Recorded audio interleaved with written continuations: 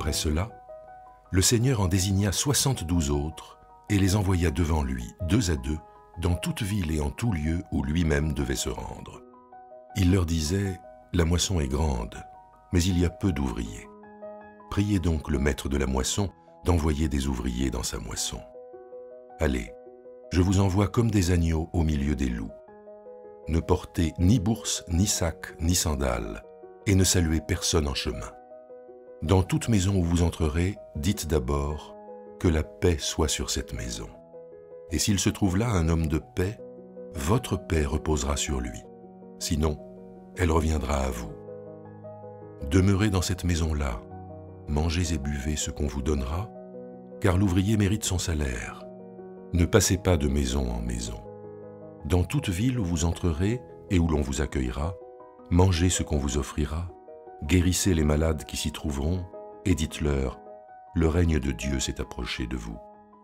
Mais dans toute ville où vous entrerez et où l'on ne vous accueillera pas, allez dans les grandes rues et dites, même la poussière de votre ville qui s'est attachée à nos pieds, nous la secouons pour vous la rendre. Sachez pourtant que le règne de Dieu s'est approché. Je vous dis qu'en ce jour-là, ce sera moins dur pour Sodome que pour cette ville-là. Quel malheur pour toi, Corazine Quel malheur pour toi, Bethsaïda Si les miracles qui ont été faits chez vous avaient été faits à Tyr et à Sidon, il y a longtemps que leurs habitants auraient changé radicalement, qu'ils se seraient vêtus de sacs et assis dans la cendre. C'est pourquoi lors du jugement, ce sera moins dur pour Tyr et Sidon que pour vous. Et toi, Capharnaüm, seras-tu élevé jusqu'au ciel? Tu descendras jusqu'au séjour des morts. Celui qui vous écoute m'écoute, celui qui vous rejette me rejette, et celui qui me rejette rejette celui qui m'a envoyé. Les soixante-douze revinrent avec joie et dirent, Seigneur, même les démons nous ont soumis par ton nom. Il leur dit, Je voyais le Satan tomber du ciel comme un éclair. Je vous ai donné l'autorité pour marcher sur les serpents et les scorpions, et sur toute la puissance de l'ennemi, et rien ne pourra vous faire de mal. Cependant ne vous réjouissez pas de ce que les esprits vous sont soumis, mais réjouissez-vous de ce que vos noms sont inscrits dans les cieux. Ce récit donc euh, se situe d'ailleurs assez curieusement parce qu'on est dans un passage de l'Évangile où Jésus monte à Jérusalem et dans sa montée à Jérusalem, il envoie 70 ou 72 euh, disciples euh, selon les versions pour préparer sa venue ou pour préparer son passage. Alors, dans l'évangile de Luc, il y a déjà eu un premier envoi des, apôtres, des douze, douze euh, dans un premier temps, 70 ou 72 cette fois-ci. Bien sûr, ces, ces nombres ont une dimension symbolique. Comment nous pouvons les interpréter? Alors, de la même façon que les douze étaient douze comme les douze tribus d'Israël, on est 70 ou 72 comme les 70 anciens. Euh, qui sont euh, donc, euh, on les trouve dans l'Exode au moment en fait du don de la loi.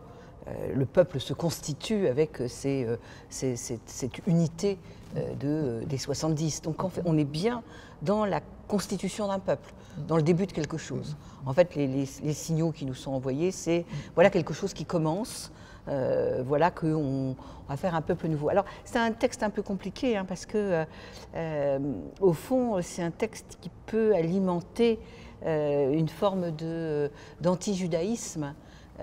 Parce que il est un peu l'idée qu'un nouveau peuple se substituerait à un peuple défaillant, et on va bien le voir dans la suite des imprécations contre les villes euh, qui ne les recevront pas. Oui, d'autant que 70, c'est aussi le, chiffre des nations. Hein. Oui. Euh, on dit, je crois que dans les descendants de Noé, il y a 70 peuples différents, et dans, le, dans la symbolique biblique, 70, euh, qui est le multiple de 7, 7 qui est le nombre de la semaine. Enfin, c'est quand même aussi une dimension d'universel.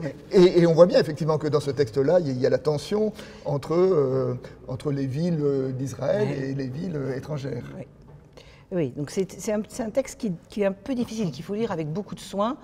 Évidemment, on est euh, légitime à dire que c'est un texte qui est écrit euh, évidemment, dire, après coup, et donc qui dit quelque chose de l'expérience euh, des premières communautés chrétiennes euh, qui finalement ne vont pas trouver tout l'écho qu'elles espèrent euh, auprès des, habitants de Judée, Galilée, etc. Donc on est là, il ne faut pas oublier qu'on est dans l'évangile de Luc, hein, qu'il a été le compagnon de Paul, donc il écrit après avoir fait l'expérience de la prédication aux nations.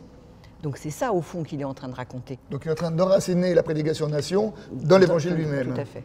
Voilà. Alors, et, donc, et puis alors, est-ce aussi dans cette perspective qu'il faut entendre ce petit passage en disant euh, euh, la moisson est grande, il y a peu d'ouvriers, prier le maître d'envoyer des ouvriers, c'est aussi quelque chose qui peut s'entendre dans une perspective des actes des apôtres euh Oui, parce qu'on on voit bien que là, on est dans une, expansion. C'est-à-dire qu'on a Jésus, puis 12, puis 70. Donc on est vraiment dans, un, dans, un, dans, dans, cette perspective. Il faut imaginer quand même que c'est ce qu'ils ont vécu. Hein. C'est l'expérience de la première communauté euh, des croyants qui finalement, euh, à partir de ce moment euh, on a célébré la Pentecôte il n'y a pas si longtemps que ça, hein. ils étaient euh, ratatinés, euh, terrés, et puis voilà que l'esprit les fait se répandre, et puis voilà, ça, se répand, ça enfle, et donc il faut, eh ben, il faut du monde, il faut convaincre des gens, il faut il faut qu'il y ait plus de disciples, plus que 12, donc il faut étendre le champ de la prédication. D'ailleurs, moi-même, j'utilise la même métaphore, le champ de la prédication, c'est aussi le champ à moissonner. Hein, c'est, euh,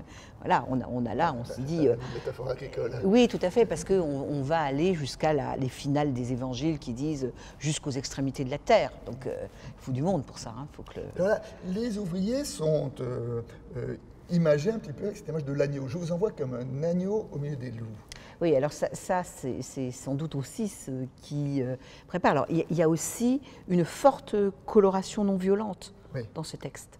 Hein, aussi bien sur l'idée qu'on va être des agneaux au milieu des loups, c'est-à-dire qu'on ben, ne sera pas bien reçu. Euh, on sait que, que, Paul est bastonné, euh, fouetté, euh, malmené, les, autres aussi d'ailleurs, et puis que, ben, que là, ils se font jeter dehors des synagogues de façon assez, assez habituelle, donc ils sont en but à des persécutions, et puis ça, ça, ça l'idée qu'ils euh, puissent être jetés en dehors des villes, euh, c'est vrai, euh, là en l'occurrence c'est raconté là, mais en fait on sait aussi que dans la prédication paulinienne, ils seront jetés en, dehors, en dehors des villes.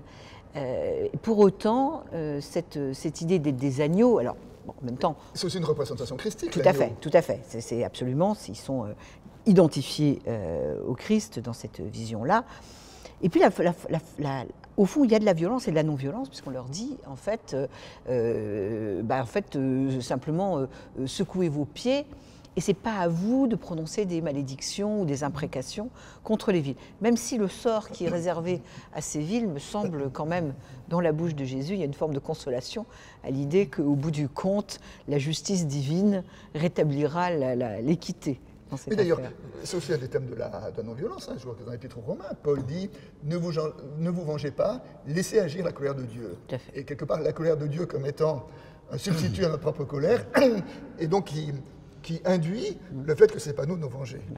Tout à fait. Et, l'idée, c'est vous, vous faites. Alors, c'est quand même, euh, d'une certaine façon, euh, un programme pour euh, tous euh, les euh, prédicateurs, missionnaires, parce que c'est quand même ça d'abord, hein, c'est l'idée missionnaire, pour tous les missionnaires, qui est que bah, vous avez des choses à proposer, mais rien à imposer. Mmh. et que, en fait, vous êtes là pour être une force de proposition. La façon dont c'est reçu ne vous appartient pas, et c'est pas à vous d'en juger. Alors ça, c'est un thème qui est très important dans ce passage-là. Je vais revenir encore une fois sur l'agneau, parce que ce qui est un peu étonnant, c'est que un agneau au milieu des loups, euh, il a zéro chance. Enfin, je dirais, c'est. Euh, et pourtant, euh, ici, il y a des maisons où vous êtes reçus, apportez la paix sur cette maison. Enfin, il y a quand même, presque paradoxalement, une sorte de fécondité d'être agneau, même si c'est dangereux au milieu des loups.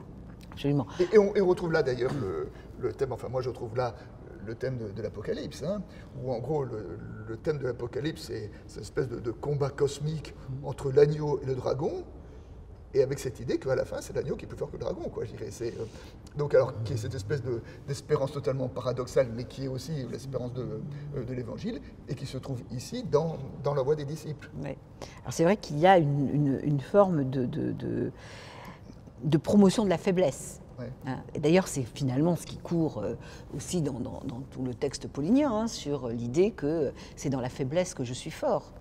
que le christianisme va se forger à cause justement euh, précisément du- Messie crucifié, l'Évangile va se forger dans l'idée que ce qui est sa force, euh, c'est d'accepter cette faiblesse et c'est d'être présent dans cette faiblesse, y compris comme les agneaux. Alors, même si euh, il y a aussi sous ce texte à fleur les promesses d'Isaïe aussi hein, sur la façon dont le loup peut-être vivra avec l'agneau, puisque il y a aussi cette idée que le comme dans la grande scène de la première annonce euh, dans la synagogue de Nazareth, où il y avait la promesse d'Isaïe euh, sur euh, les boiteux qui marcheront, etc.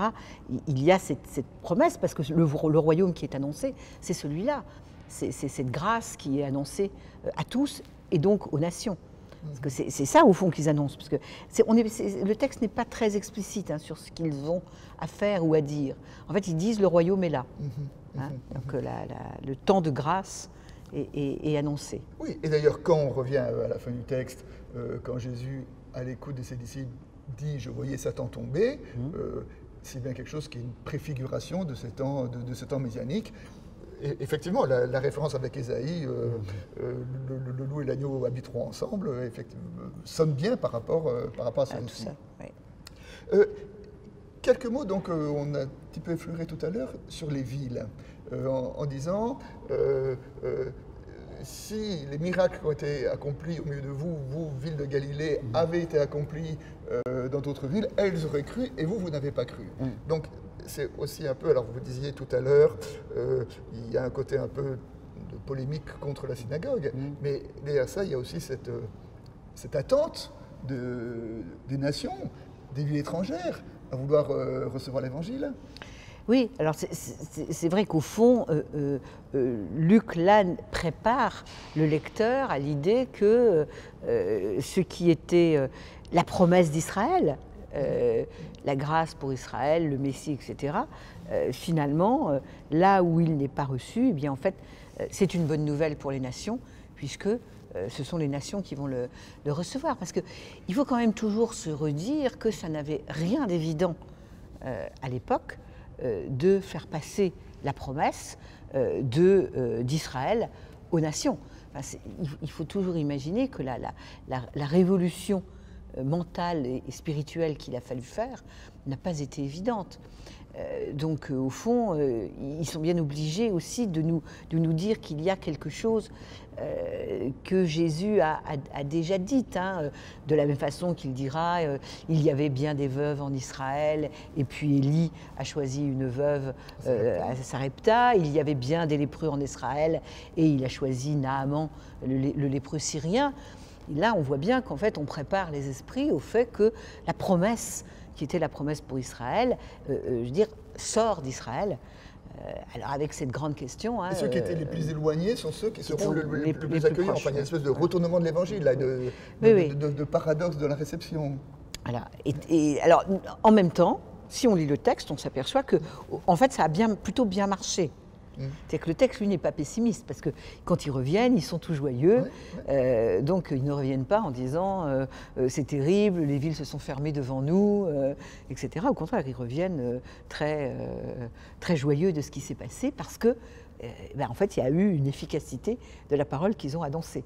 Donc, à la fois, il y a cette face d'inquiétude qui est probablement une façon d'annoncer ben, la difficulté de la mission, et en même temps, il y a la joie du missionnaire, fécondité, la fécondité. Ça marche. Ouais, ouais. Et puis, alors avec euh, cette chute, euh, cependant, ne vous réjouissez pas euh, de ce que les esprits vous sont soumis, mais réjouissez-vous de ce que votre nom est inscrit dans les cieux. Et ce qu'il n'y a pas là, à la fois ça marche, mais à la fois, le résultat ne vous appartient pas, enfin, en, en disant, c'est pas ça le plus important. Le plus important, c'est pas que ça marche ou que ça marche pas. Le plus important, c'est que vous, vous soyez dans la fidélité. Oui. Voilà, c'est un petit côté, comme disait ma grand-mère, tu n'as fait que ton devoir, et bien petitement. C'est un peu ça quand même, à dire, euh, ne vous, ne vous gonflez pas d'orgueil pour vous-même, euh, ne considérez pas que ça vient de vous. Euh, mais en revanche, il y y a une rétribution. Il y a une rétribution parce qu'avoir son nom gravé dans le ciel, euh, ça n'est pas rien. Hein, donc il y a quand même une promesse euh, substantielle faite à ces, à ces missionnaires euh, d'être euh, chéris dans le cœur de Dieu. Et ben voilà, que cette promesse aujourd'hui, euh, nous puissions la recevoir pour nous.